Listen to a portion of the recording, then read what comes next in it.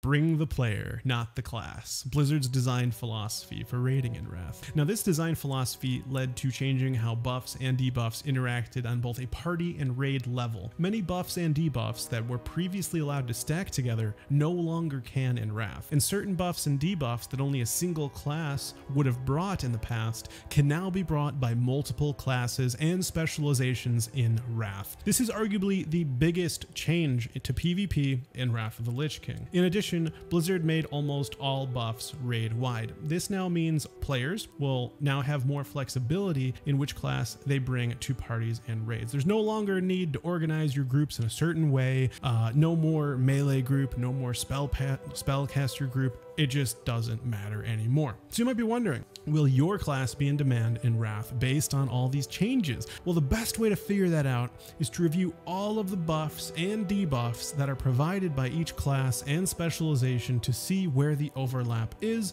and which classes will bring things that are unique only to their class in order to see who will be the most valuable to a raid, bringing something that no other class can. So that by the end of the video, you'll know if your class will be in demand in Wrath of the Lich King. Now, as we go through this list, remember that each buff or debuff that we are going to talk about can only benefit a player once the most powerful of, of the spell or ability will be the one that is overriding the other one. They don't stack, basically. So let's start with some buffs, all right? Horn of Winter from Death Knights and Strength of Earth Totem from Shaman both increase party and raid strength and agility by 155. So this is good to know. Uh, so your Shaman can use a different Earth Totem if, they, if a Death Knight is in the raid. So remember, all Death Knights get Horn of Winter. They're all going to be using it, hopefully. and uh, so Shaman probably use a different totem other than Strength of Earth. There's probably going to be a DK in your raid, let's be real. Inspiration from Holy Priests and Ancestral Healing from Restoration Shaman are both buffs which grant 10 percent reduced physical damage taken after receiving a critical heal. Note that neither Holy Paladins nor Restoration Druids can provide this buff, so this is a reason to seek out either a Holy Priest or Restoration Shaman for your raid. There you go they're going to be in demand. Both Blessing of Might and Battle Shout both grant the same exact amount of attack power, and both have talents which improve that amount. The Retribution talent is called Improved Best Blessing of Might, increases effectiveness by 25% at max rank, and Commanding Presence for Fury Warriors increases the attack power bonus of Battle Shout by 25% at max rank. Now it's worth noting that the commanding presence talent requires five talent points to reach max, while blessing of might, improved blessing of might, only takes two talent points. So it might make sense for the retribution paladin to bring the attack power buff, the might buff to the raid. Now, a big call out uh, that I think is going to make a lot of sense here is that mages don't get their mage lust or whatever you want to call it, time warp until cataclysm. So shaman are still very much in demand for their bloodlust if you're horde or heroism if you're alliance. Uh, but the sated debuff, okay, right? So when you get bloodlust, you get this sated debuff, uh, making it so you can't benefit from bloodlust until the debuff fades. It's on a lasts for about 10 minutes. Uh, so this means you can't stack shamans. You can't just lust after lust after lust, right? And the buff is raid wide again, like the, the rest of the buffs we're going through. Now, another one is Ferocious Inspiration from Beast Mastery Hunters, Sanctified Retribution from Retribution Paladins, and Arcane Empowerment from Arcane Mages. All three of these buffs are going to increase damage done by 3% for all party and raid members. Now, this is a scenario where the buff is exactly the same, so you're going to have some flexibility here in your choice on which class, spec you want to bring out of these three. I personally could see most min-maxers bringing the Arcane Mage for this buff, at least until ICC, Icecrown Citadel, when mages will transition over to fire. Retributions are going to get Shadowmourne, so you're probably going to have that Retribution Paladin providing that buff. Depends on your raid composition, right? Trueshot Aura from Marksman Hunters, Unleashed Rage from Enhanced Shaman, and Abomination's Might from Blood Death Knights are ex the exact same buff, granting 10% increased attack power to party and raid members. Depending on if you have a Blood DK tank providing this buff, you might change your roster around I don't know how in demand enhanced shaman are going to be, but marksmanship hunters are pretty middle of the road throughout the expansion, so Trueshot Aura could be your go to if you don't have a blood DK tank. Now, there's another buff that's really important for your raid. It's a 3% damage reduction raid wide. Blessing of Sanctuary from Paladins, Protection Paladins can provide this. Vigilance from Protection Warriors and Renewed Hope from Discipline Priests all provide that same 3% damage reduction. Vigilance can only be on one target at a time, so it's not really that great of a buff for the whole raid. Renewed Hope, on the other hand, gives the entire raid 3% damage reduction when the Discipline Priest casts Power Word Shield. So you can bet if you bring a priest, the whole raid will be covered. But if you have a pally tank and every other paladin buff is provided to the raid, you can have him throw up a sanctuary to the raid and that covers it as well. So I would say priest or protection paladin can provide that. Another buff, improved moonkin form from balanced druids and swift retribution from retribution paladins. Both grant the exact same 3% haste. So you're going to want to bring one or the other or both, doesn't really matter, but they don't stack again. Here's an interesting one, Tree of Life from restoration druids and improved devotion aura from protection paladins both provide the exact same 6% healing received buff. Now, improved devotion aura, they could throw you off. That's a paladin talent that applies to any aura you're using. So it's not like the paladin has to use devotion aura to provide that increased healing buff. It's it's any aura. It's going to increase healing. So that's pretty cool. Probably going to get that from protection paladin if you're min maxing, but could also be provided by that Resto Druid if you don't have that talent. Improved Imp from Destruction Warlocks, you know, for that Blood Pact and Commanding Shout from Warriors. Of course, they don't stack. Commanding Shout, I believe, is more powerful, so take that uh, as you will, but both provide a health buff. Arcane Intellect from Mages and Fel Intelligence provide different levels of intellect. You've got 48 from Fel Intelligence, you've got 60 from Arcane Intellect. If you have a mage in the group, you don't need that Affliction Warlock providing that Fel Intelligence from their Felhound. Um, but if you don't have a mage, get that Felhound out. Blessing of Wisdom from Paladins and Mana Spring Totem from the Shaman both provide exactly the same amount of MP5, believe it or not. Improved Blessing of Wisdom, however, increases that uh, MP5 that you get, and Restorative Totems for Shaman increases that MP5 both by 20%. So they are exactly the same once again. However, the Shaman talent requires three talent points to max out, while the Paladin talent requires two.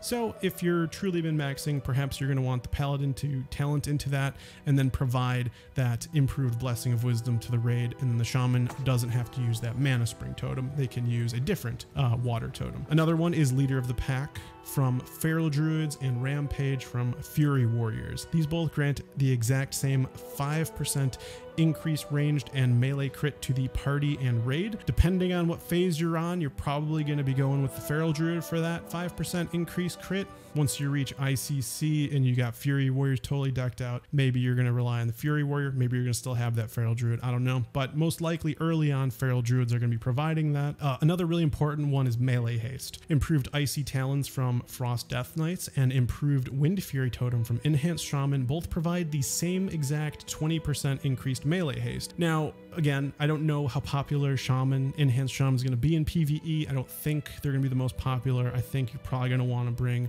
a Frost Death Knight with improved Icy Talons for that 20% increased melee haste. Now, a talent that is provided by many classes is next replenishment. This will grant 1% mana back every 5 seconds, and it is brought to the raid by five different classes, each from differently named talents from different specializations. We've got Enduring Winter from Frost Mages, Hunting Party from Survival Hunters, Judgments of the Wise from Retribution Paladins, Vampiric Touch from Shadow Priests, and Improved Soul Leech from Destruction Warlocks. Now, a lot of these specs I just listed out are actually more PvP focused, like Frost Mage, Survival Hunter, and believe it or not, destruction warlocks a little bit, right?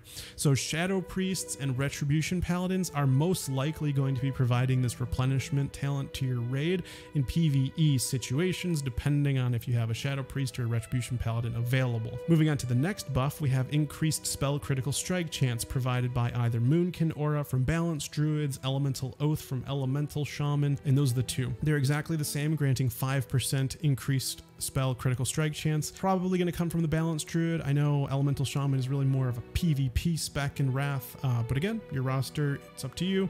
but probably going to bring a balanced druid for that. There's a 5% spell haste buff, which is only available from shaman through the Wrath of Air totem. So you can see some indicators here that shaman have uh, certain things that are going to be only for their class. So shaman, I believe, are going to be in demand once again in Wrath for that, you know, 5% spell haste for the bloodlust uh, and so on. So Wrath of Air Totem, probably going to be seeing that all the time. Spell power as a buff is gained from a number of different sources. There's Totem of Wrath from Elemental Shaman, granting 280 spell power. Demonic Pact from Demonology Warlocks, granting 10% of their spell power to the raid. Or even Flametongue Totem, believe it or not, from any shaman for 144 spell power. Now these grant different amounts of spell power, and the one granting the most would overwrite the weaker ones. So most likely it's going to be Demonic Pact from Demonology Warlocks, granting 10% of their spell power. That's probably going to be like 200 plus, maybe 300. I don't know, depends how much spell power your Demonology Warlock has, but that's probably going to overwrite the other ones, making the Demonology Warlock in demand for your raid. Now, there's also the Spirit buff. This is granted from Divine Spirit, granting 80 Spirit, and also Fel Intelligence grants 64. If you got a Priest in the raid, Given that buff, you don't need that Felhound. If you don't have a priest, bring the Felhound. Pretty straightforward. Stamina buff is provided by the one, the only, the priest power word fortitude. No other class has a direct stamina buff. If you're looking for stats, Mark of the Wild from any druid, as well as Drums of the Wild from leatherworking, actually provide the exact same amount of stats. So a leatherworker with Drums of the Wild can actually replace your Mark of the Wild buff. I know it's crazy. There's also the 10% increased stats granted by Blessing of Kings, or 8% if you have Drums of Forgotten Kings, if you're a leather worker and you can't find a paladin around, which, you know, I think in Wrath they're going to be running all over the place personally. But let's move on from buffs and let's talk a little bit about debuffs because debuffs are just as important, right? Who, who's going to put the, the debuffs on the boss, right? Who's going to put those debuffs up? Well, we've got major armor reduction debuffs, right? From Acid Spit from D, uh, from Beast Mastery Hunter Pet. You've got Exposed Armor from Rogues and Sunder Armor from Warriors, all granting the same exact 20% armor reduction. However, in order for Sunder Armor to give 20% armor reduction, you need five stacks, right? Exposed Armor for Rogues, that just goes on for a certain amount of time. Acid Spit from Beast Mastery Hunter only needs two spit stacks in order to reach 20% armor reduction. So actually armor uh, reduction is put on most slowly by warriors. Sorry, warriors. so, you know, depending on what you bring, probably the rogue for that, maybe the Beast Mastery Hunter, probably not. You might also have a warrior, I don't know. But depends on what you're looking for, probably best provided by the rogue. There's also minor armor reduction debuffs like Faerie Fire from Druids, Sting from the Hunter Wasp pet, and Curse of Weakness from any Warlock, which all provide the exact same 5% armor reduction debuff. And that is different from the major armor reduction debuff, so you can have both the major and minor ones. There's also attack power debuffs, Demoralizing Roar from Feral Druids, reducing it by 408, Curse of Weakness from Warlocks, reducing it by 478, and Demoralizing Shout from Warriors at 410. These are all about the same, but Curse of Weakness is the strongest there, so you could go with that. When it comes to increasing damage from bleeds, there are actually three sources. You've got Mangle from Feral Druids, you've got Stampede from Beast Mastery Hunter Pet, and Trauma from Arms Warriors. These are all 30% besides Stampede, which is a 25% increased damage from bleeding effect. So if you really can't find someone to bring increased bleeds, you could go with Beast Mastery Hunter, but most likely Mangle from the Feral Druid, I could see providing that to your raid. If not, you could also get Trauma from an Arms Warrior. Now, decreasing casting speed can be done from a number of ways. You've got Lava Breath from the Beast Mastery Hunter Pet. I believe it's the Core Hound. That one's super popular granting a 25% decreased casting speed. There's also Slow from Arcane Mages, granting 30% reduced, Mind Numbing from Rogues, and Curse of Tongues from Warlocks. All those do 30% reduced casting speed. And again, they do not stack. You get this very easily from the Arcane Mage, the Rogue, or the Warlock. You probably don't need a BM Hunter to bring that to the raid. Increasing critical strike chance of all attacks made against the debuff target can come from Heart of the Crusader from a Retribution Paladin very easily, Master Poisoner from Assassination Rogue, and also Totem of Wrath from any Elemental Shaman, providing that same 3% increased critical strike chance. Most likely coming from a Rogue or Retribution Paladin, most likely for your raid reduced healing, you know, MS, the MS effect, right? Provided by aim shot from hunters, wound poison from rogues, and mortal strike from arms warriors, but also furious attacks from fury warriors, granting 50% reduced healing. That's a new one. Health restore on hit. This is granted by Judgment of Light from paladins or on melee crit from improved leader of the pack.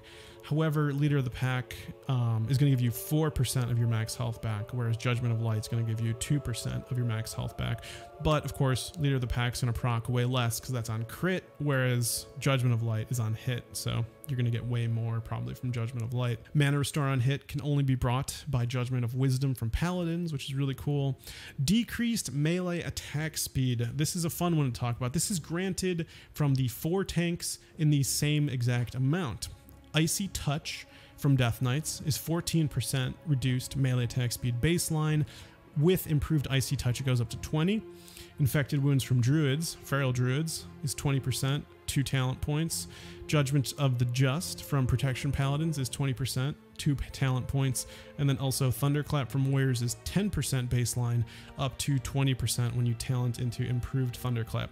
So you can see that all the tanks um, are kind of properly equipped with this reduced melee and ranged attack speed debuff uh, in the same exact ways when you put those talent points in the right place. Um, this is the homogenation of tanks you're seeing, right? Bring the player, not the class. There's another one, melee and ranged hit chance reduction comes from either Insect Swarm from Balanced Druids or Scorpid Sting from Hunter, both offering 3% reduced chance to hit. Most likely you're gonna have that from the Balanced Druid.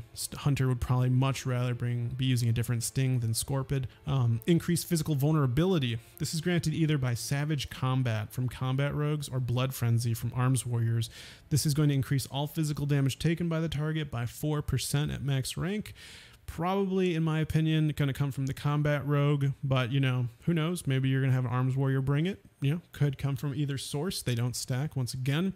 And then finally, there's spell critical strike chance uh, from improved scorch from fire mages, winter's chill from frost mages, and improved shadow bolt from warlocks, all granting 5% increased critical strike chance. Now, the options here aren't super great. I'm imagining early on, you know, Naxxramas you're probably not going to have a fire mage, probably not going to want to bring frost mage. You know, Destro Warlock can probably provide that 5% increased spell critical strike chance, even though Destro is like sort of not the best spec in Wrath, but you know, can do stuff still. Increased spell damage can be brought by three different sources. You got the Ebon Plaguebringer from Unholy Death Knight, Earth and Moon from Balanced Druids, or Curse of Elements from a Warlock all increasing magic damage taken by 13%. Curse of Elements also reduces resistances though, so in my opinion, it's slightly better than the others.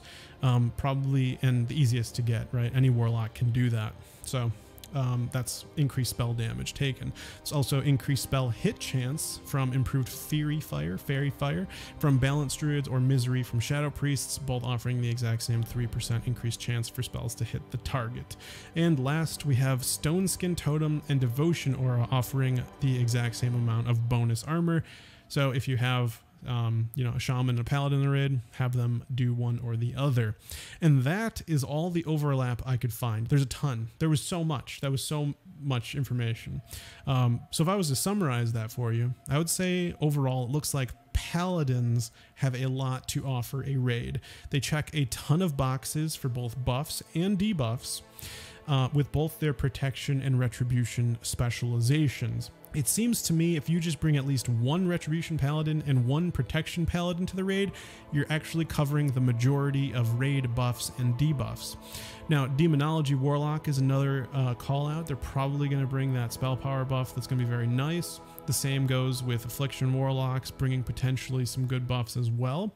Shaman is huge. Shaman is bringing buffs that no other class has. Of course, Bloodlust, Wrath of Air Totem, priests are providing some exceptional buffs as well.